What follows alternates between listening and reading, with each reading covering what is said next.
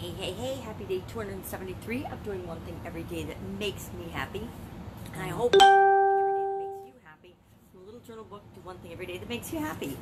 Today is an interesting one. Every time I run across this, because it's several of them throughout the book, it makes me stop and pause because it says happy holidays or happy holiday. And I'm like, well, it's not a holiday. It's just a Monday. It's just an awesome Monday. But what the challenge says for us to do today is what's a private holiday that I celebrate? What's a private holiday that you celebrate? Now, each of us usually has certain days that we really enjoy. We really like to celebrate privately, and we just, nobody else, it's not a holiday for anybody else, but it's a holiday for us. I personally have my death day, which is September 7th. I actually had a sudden cardiac arrest and died that day, yet I'm still here. So I think it's a really good day to celebrate. So every year I have my own little private celebration. Usually my daughter joins in with me because it was a big deal for her at the time too. She was only 16.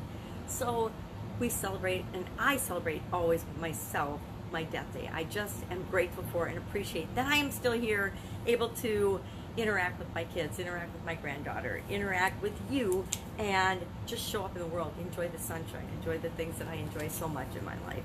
So that is one day that I celebrate. Is there a special day that you celebrate?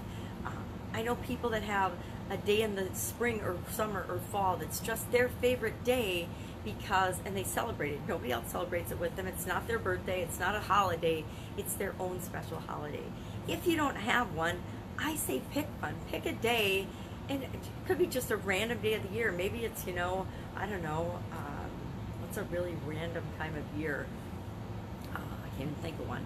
But maybe it's a time of year when there aren't really very many holidays and you just decide this is going to be my personal holiday it's going to be a day that i just celebrate myself some people do that on their birthday, some people do that on their birthday week, but other people, we like to pick a different day and just celebrate that. Just a day to appreciate being alive.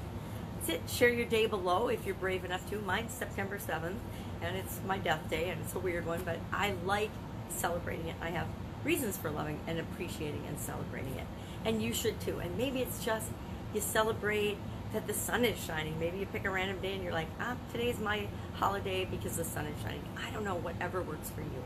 Go out making an awesome Monday and a happy day. And I'll, of course, see you tomorrow with another little challenge from our Do One Thing Every Day that makes us happy. Bye. Have an amazing day.